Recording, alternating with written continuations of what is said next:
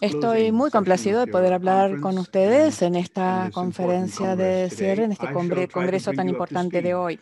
Voy a tratar de comentarles algunos cambios en el tratamiento de la insuficiencia cardíaca que hemos estado viendo en los últimos años. Ray Kurzweil dijo esto muy bien, dijo el futuro va a ser mucho más sorprendente de lo que muchos creen porque pocos observadores han internalizado realmente las implicancias del hecho de que la velocidad de cambio per se se está acelerando. Pero en realidad, nada está más alejado de la verdad en el campo de la insuficiencia cardíaca, donde durante mucho tiempo en las vías tradicionales de las vías en insuficiencia cardíaca, el sistema nervioso simpático, los beta bloqueantes, el sistema angiotensina 2 con los IECAS y los, ah, la vía de los mineralocorticoides con los antagonistas de los mineralocorticoides, en todo lo que teníamos. Y la verdad que ha sido una serie de decepciones que siguieron a esto hasta 2015, en los últimos cinco años, donde comenzamos a ver unos avances muy dirigidos. El primero en la introducción de inhibidores de la neprilcina, que ahora la mayoría de nosotros conocemos bien. Y también el más reciente de los cuales son los inhibidores SGLT2, que se diseñaron en realidad como drogas antidiabéticas, pero ahora estamos comprendiendo que tal vez tengan una acción mucho más cardiovascular que para la diabetes. Y vamos a hablar de algunos de estos temas con estas clases de drogas. muy recientemente hemos visto lo que son los estimuladores de la guanilato ciclasa soluble que han mostrado una ah, acción positiva. ¿Cómo usamos estos distintos tratamientos en nuestro arsenal? Es algo que todavía queda un poco a cargo de la ciencia de la implementación y esperamos poder acercarnos un poco más a eso. Otra clase de fármacos ha mostrado señal positiva, que son los activadores de la miocina. Esto es una droga que se llama Omecamtiv y esta droga en particular se está probando en un estudio grande que se llama el Galactic Heart Failure, es un estudio fase 3. Recientemente han reportado sus primeros resultados, a los resultados detallados se van a presentar a fines de noviembre en el Congreso de la American Heart Association, pero este estudio es otro tipo de terapia dirigida, donde estos activadores de la miocina han mostrado una señal positiva, ha cumplido con el punto final primario de muerte cardiovascular o empeoramiento de los eventos de insuficiencia cardíaca. Ahora hay que comprender que el hazard ratio que se describe es simplemente 8% de mejoría, así que hay que ser cuidadoso cuando miramos estos datos, porque el efecto, el tamaño del efecto acá y los intervalos de confianza implican que puede haber tanto como 14 de beneficio o de 1%, según los intervalos de confianza. Entonces habrá que mirar esos extremos para comprender realmente la información. No obstante, sigue siendo importante que los tipos de agentes inotrópicos han mostrado ahora ciertas señales positivas en, por primera vez en casos de insuficiencia cardíaca no descompensada, más estables. Vemos los últimos tres ganadores en insuficiencia cardíaca sacubitril sartán en el PARA-MHF, dapaglifosina en el DAPA-HF y ahora en el estudio Victoria, el Vericiguat. Ahora, el DAPA-HF y el PARADIGM-HF parecen ser bastante similares. Estos estudios tuvieron grados similares de severidad. de la IC según adjudicó los niveles medios de NT-proBNP, la severidad de insuficiencia cardíaca clase 3 o 4, pero noten que en el estudio Victoria con Vericiguat, la población es una población más enferma, con más FA, los, el, efecto, el tamaño del el efecto se notó al año con una sobrevida mediana en el seguimiento de 11 meses, con un NT-PNP que era casi el doble que en los otros estudios. Podemos ver también cómo predomina en el endpoint primario tres veces eh, lo que mostraron los otros estudios. Este, estos hallazgos de endpoint primario se han reportado como que se normalizaron en los tres estudios y se reportan por 100 pacientes año, eh, de riesgo. Entonces esto se adaptó de los estudios para tratar de comparar cosas comparables. Entonces, aunque hemos visto este éxito, en realidad la reducción de riesgo absoluto va solamente de 2.7% hasta alrededor de 4.2% para el endpoint primario. Y eh, todo esto, si uno lo mira y mira el NNT, el número necesario a tratar, habría que tratar entre 25 y 37 pacientes para tener uno a dos años, durante uno a dos años para lograr una reducción en el punto final primario. Predominantemente esa reducción en el point primario será una reducción en las internaciones por incidencia cardíaca y no necesariamente la mortalidad, aunque es, las estimaciones son que si uno implementar algunos de estos tratamientos en el largo plazo podría haber hasta ocho años de prolongación en la sobrevida de largo plazo. Si todos los tratamientos estuvieran bien implementados, perfectamente implementados en todos los pacientes. Ahora, ¿por qué los inhibidores de SGLT2 que se diseñaron para que actúen en diabetes, por qué actúan en insuficiencia cardíaca aún en ausencia de diabetes franca? Una posible respuesta a este dilema es comprender que en realidad la disglucemia en la insuficiencia cardíaca no es un hallazgo raro. Esto es un poco parecido a la distinción entre el metabolismo del hierro y sus trastornos y la anemia. Por ejemplo, vemos una amplia proporción de pacientes con insuficiencia cardíaca que tienen trastornos del metabolismo férrico, pero no están necesariamente anémicos. Vemos lo mismo con la diabetes y con el metabolismo de la glucosa. Hay una gran proporción de pacientes con insuficiencia cardíaca que tienen trastornos del metabolismo de la glucosa, pero no son francos diabéticos. Esto nos lleva a que tal vez por eso los inhibidores de SGLT2 pueden actuar en realidad en pacientes con insuficiencia cardíaca, independientemente de que el paciente tenga o no diabetes. Por otro lado, el efecto cardioprotector que se han notado pueden ser completamente independientes de los cambios en hemoglobina A1C u otros aspectos. Y esto es porque en realidad puede ser que tengan efectos celulares directos que involucren el intercambiador sodio-hidrógeno, puede que influencien las adipoquinas o la fibrosis a nivel directo. Entonces nosotros vemos que no comprendemos totalmente los mecanismos de los inhibidores SGLT2, pero claramente tienen efectos que son mucho más amplios de los que simplemente se ejercen sobre el metabolismo de la glucosa. Quisiera uh, detenerme unos minutos cuando uh, pensamos en estos uh, nuevos ganadores acerca de la enfermedad renal crónica. No es raro ver algún grado de cambio en la función renal cuando uno analiza pacientes con diabetes o con insuficiencia cardíaca en no diabéticos o en los estadios avanzados de la insuficiencia cardíaca. Cuando empezamos a ver, a dar estas drogas vemos a veces cambios en la función renal. El punto entonces importante es ver que muchos de estos estudios excluyen los pacientes que tienen enfermedad renal crónica avanzada 4 o 5 o más realmente veremos empeoramiento transitorio en la función renal con el tratamiento. Eso es común y muchas veces no es de significado a largo plazo, pero quiero mencionar tres cosas como ciertas sugerencias. El primero es que la única droga de estas nuevas drogas que ha demostrado que es razonablemente segura en pacientes con insuficiencia cardíaca y estadios avanzados de nefropatía crónica es el inhibidor de la ciclasa, que es un estimulador que se el vericiguat. El otro punto uh, importante es que los antagonistas, los receptores mineralocorticoides, deberían evitarse en los estadios avanzados de nefropatía crónica, incluso en esas situaciones donde decimos que las, las dosis de inhibidores de RAS hay que um, ajustarlas. Los inhibidores de SGLT2 son muy especiales. Cuando uno empieza a darlos, inicialmente disminuyen el filtrado glomerular, el GFR, y después generan una disminución, ve que eso pasa a ser una trayectoria favorable, donde el grupo placebo empieza a mostrar una declinación más marcada en la función. Entonces, estos inhibidores van a reducir el filtro hormonal en forma precoz, pero en el largo plazo, la verdad es que pueden salvar nefronas. Estas cosas hay que tenerlas presentes cuando pensamos en el tratamiento de estos pacientes.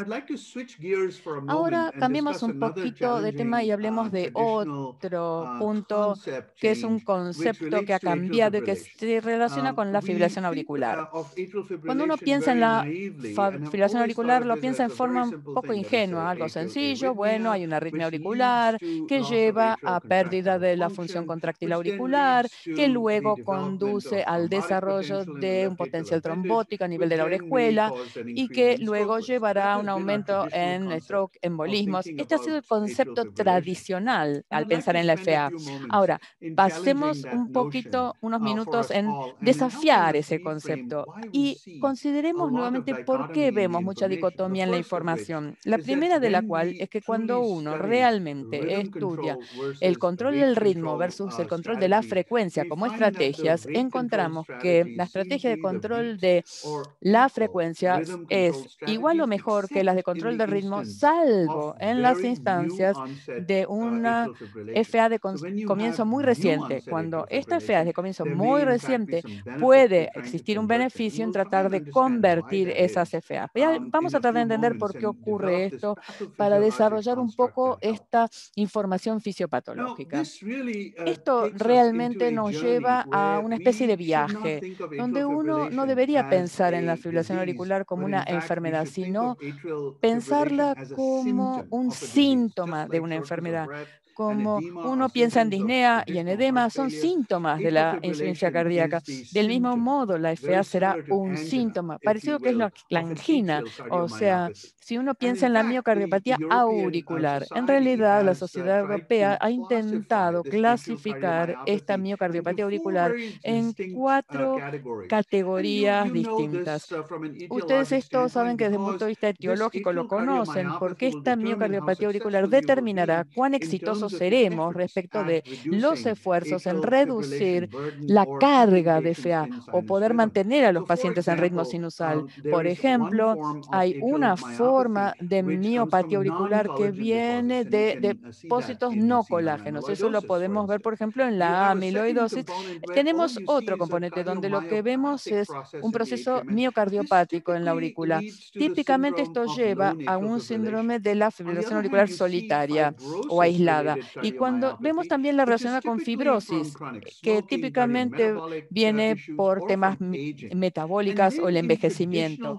Y en la insuficiencia cardíaca tradicional vemos una mezcla de ambos, miocardiopático y fibrosis, como relacionados hallazgos en esta miopatía. Esto es importante uh, porque el éxito del control de ritmo versus frecuencia va a depender mucho de esto. Imagínense si la causa de la FA realmente es un trastorno de fibrosis y uno empieza a hacerles un procedimiento de MACE quirúrgico, donde el objetivo es fulgurar distintas áreas de manera que la electricidad no pueda conducirse de cierta manera, probablemente van a hacer que el proceso miopático empeore. Piensen en hacerle eso al ventrículo en vez de a la aurícula y así van a comprender el punto que quiero explicar. Algunas palabras acerca de la ablación por catéter en la FA.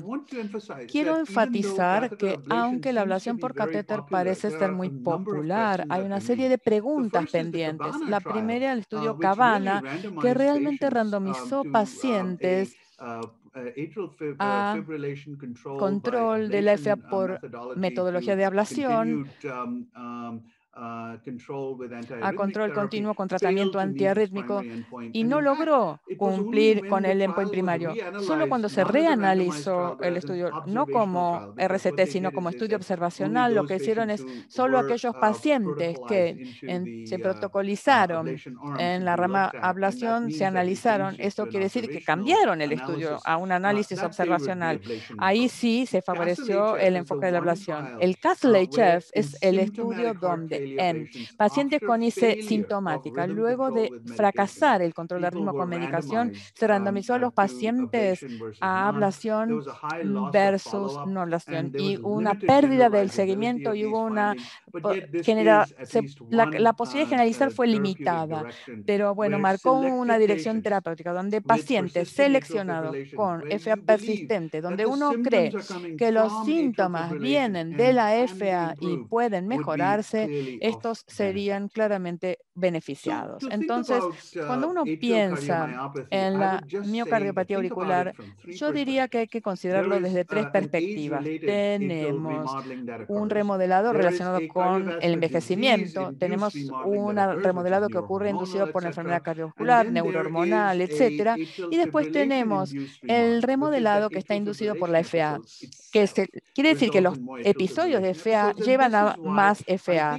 Y aquí es donde creo que uno tiene un primer episodio de FA, uno tiene que hacer todos los esfuerzos posibles para controlarlos y volver a ritmo sinusal. No solo porque el mayor éxito de controlarlo ocurre en ese punto temprano, sino que también uno lograría detener este ciclo de remodelado auricular inducido por la FA y empeoramiento de la miocardiopatía auricular. No es distinto de lo que sería una miocardiopatía ventricular que está inducida por arritmia ventricular, donde también se mostró beneficios si uno logra disminuir las extrasístoles. Este constructo lo tendríamos que pensar cuando analizamos la FA en el contexto de la insuficiencia cardíaca.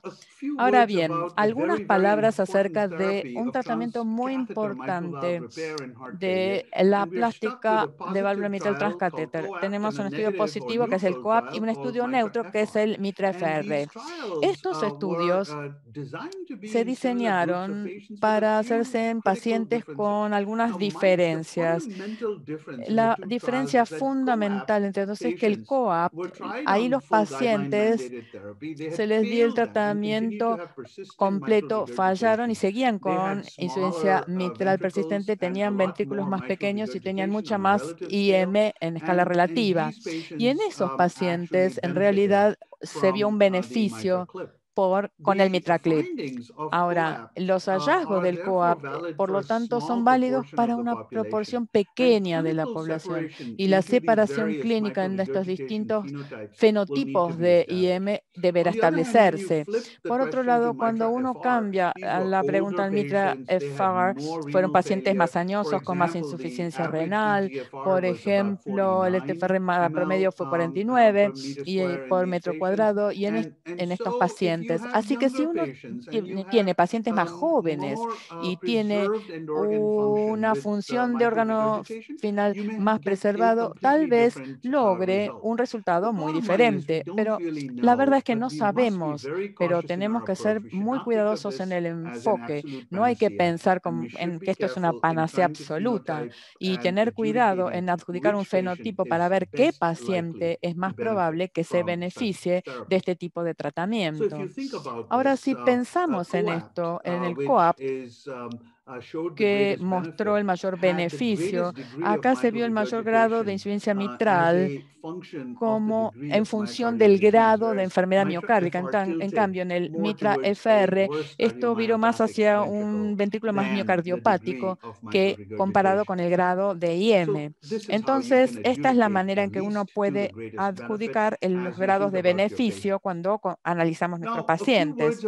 Ahora, algunas palabras sobre el tratamiento guiado por biomarcadores. Siempre usamos el ProBNP, el BNP en los pacientes internados o en los pacientes ambulatorios y los analizamos. Pero lamentablemente el estudio Guy de Chef, que fue un estudio randomizado que trató de responder esta pregunta, no logró demostrar un beneficio con el tratamiento guiado por biomarcadores, porque los clínicos puede que sean tan buenos en poder titular el tratamiento médico como usando los tratamientos guiados por biomarcadores. Puede que sea útil para un pequeño número de pacientes. Por otro lado, necesitamos reducir las internaciones después que se de alta. O sea que como resultado, probablemente lo más cercanos que hemos llegado a mirar una intervención positiva terapéutica es con el concepto de reconocer que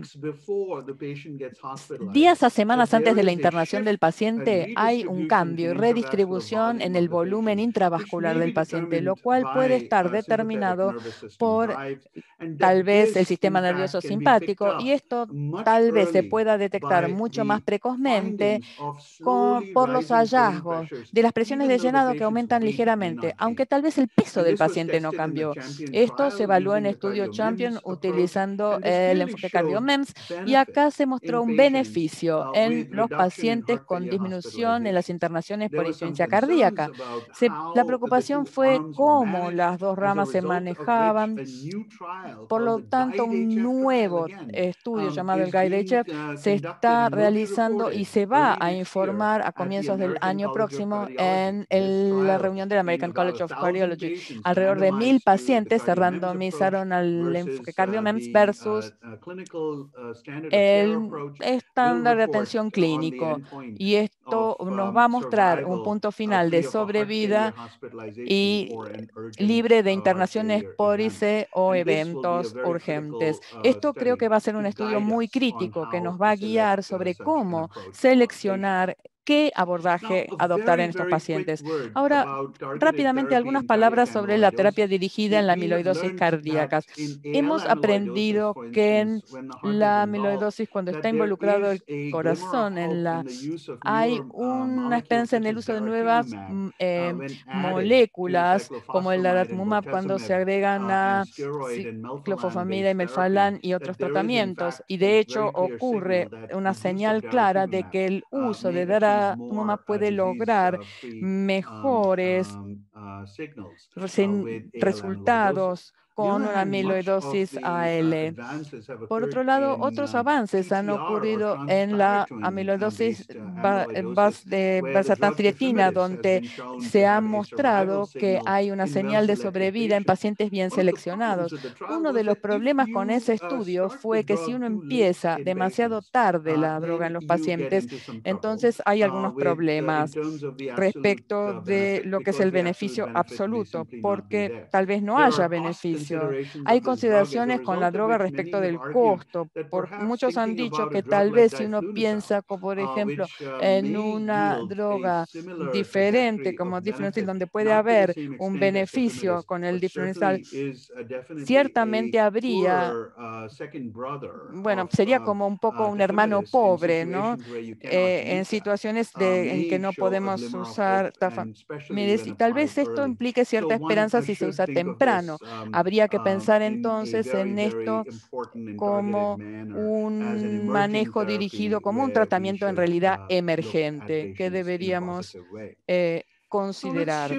Pasemos ahora y veamos y aquellos pacientes que ya no están estables, que tienen algunos cambios en la evolución, hay un grupo que se va como a caer del acantilado, digamos, y van a transicionar a una insuficiencia cardíaca avanzada. Esos pacientes aparecen en forma de shock cardiogénico o pre-shock y deberíamos um, detectarlos, estos pacientes, para poder, y estos pacientes empiezan a mostrar regresión con tratamiento neurohormonal, tal vez no toleren las mismas dosis, necesitan un enfoque paso a paso con diuréticos para mantenerlos eubolémicos y con frecuencia muestran un aumento y empeoramiento de la función renal con el tiempo.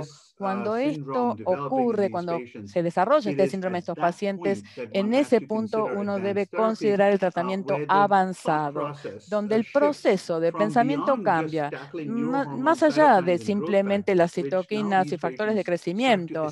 Estos pacientes ahora se vuelven refractarios a esto, a pasar a pensar en un estiramiento mecánico, volver a pensar en el corazón más que en la periferia. En esta situación, quisiera recordar o uh, llamar a esto terapéutica de Laplace. Laplace fue un físico que describió la relación entre estrés y strain, en donde la presión y el tamaño de una cavidad y el espesor están todos relacionados con el estrés o la tensión y, la deformación o strain que experimenta una cavidad. La idea es reducir el estrés y strain. Probablemente la mejor manera de lograr reducir esa presión en una cavidad es con los tratamientos tratamientos de asistencia ventricular, donde uno crea una especie de enfoque de vacío para reducir la presión, insertando un dispositivo, en una cánula en el apex de BI y extraer sangre de ahí hacia la aorta ascendente para eh, que sea implantado en forma duradera en estos pacientes.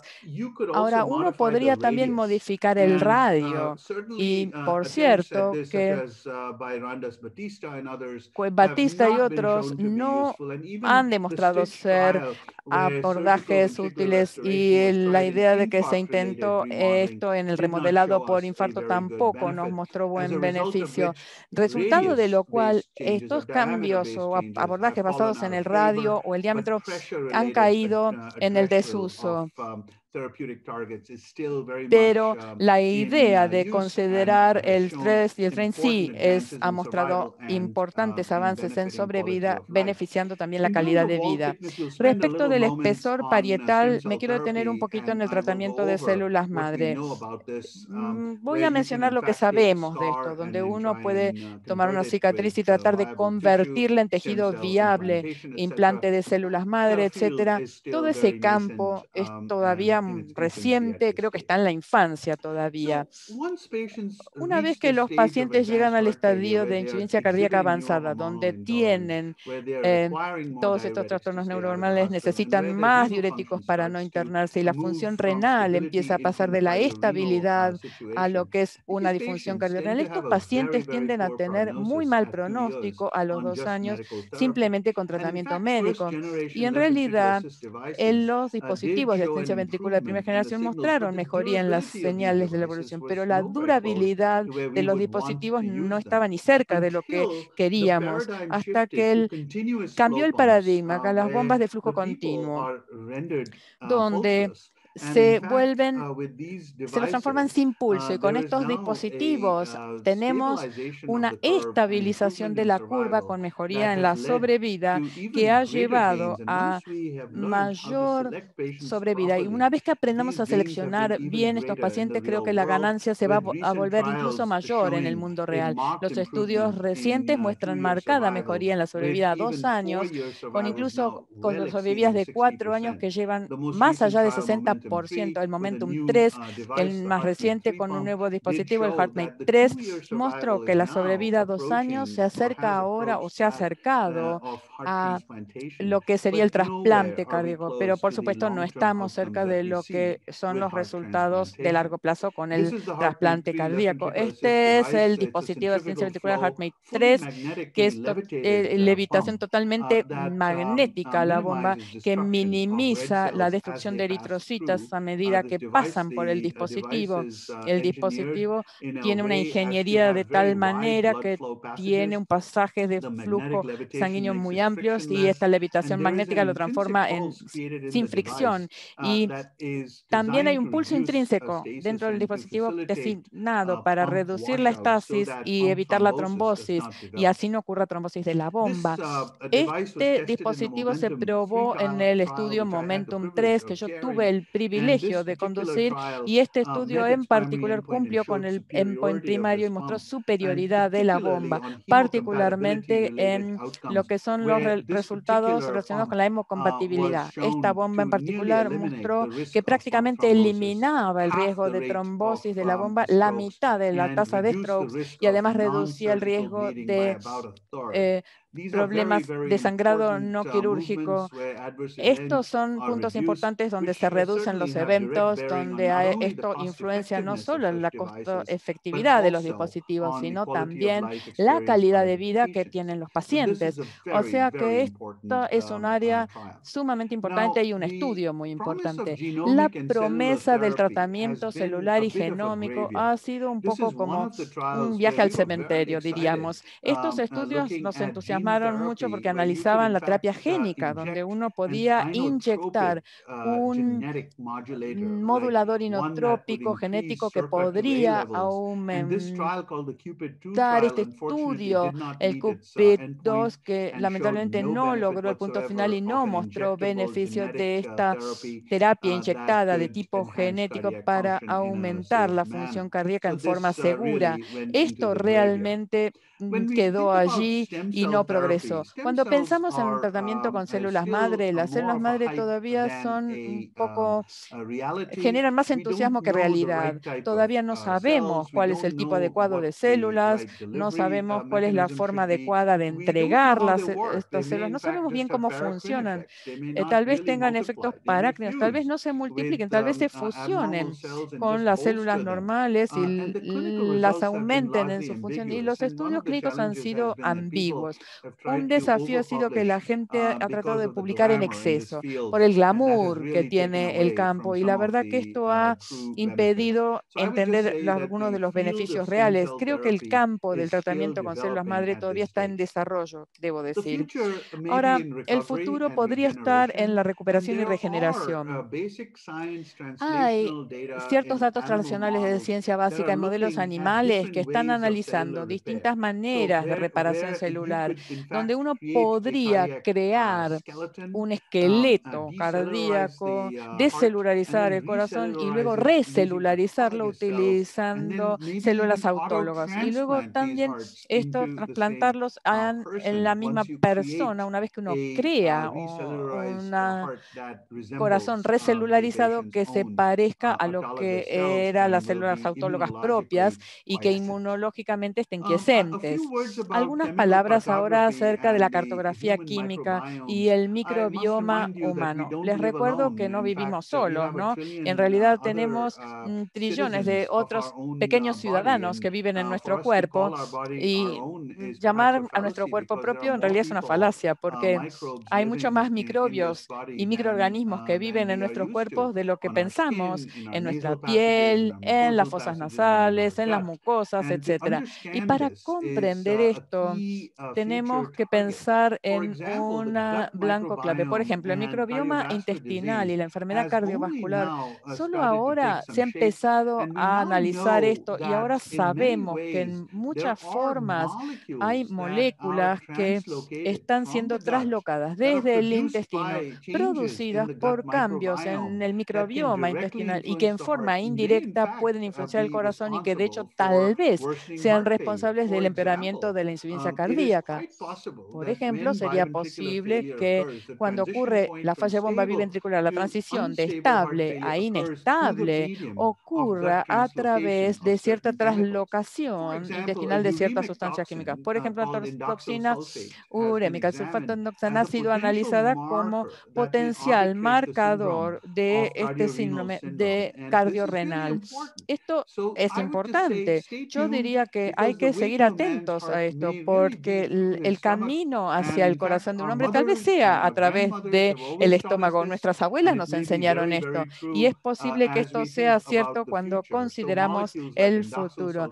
Moléculas como el sulfato, indoxil sulfato pueden ser muy importantes y tener un rol en la hipótesis inflamatoria de la insuficiencia cardíaca cuando pensamos en el um, futuro. Quiero um, terminar recordando lo que dijo Albert Einstein. Dijo, no podemos resolver nuestros problemas con los mismos eh, pensamientos que teníamos cuando creamos los problemas. O sea, es un tiempo muy interesante en la ciencia cardíaca, de pensar mucho, pero hay que ser uh, cuidadoso y concentrar nuestros esfuerzos en la ciencia de la implementación. Seguramente vamos a tener muchas opciones y hay que asegurarse de que esas opciones se implementen en forma correcta. Estoy encantado de haber tenido la oportunidad de darles esta charla. Muchas gracias a todos por su atención y espero que puedan venir algunas preguntas después en la discusión. Muchas gracias.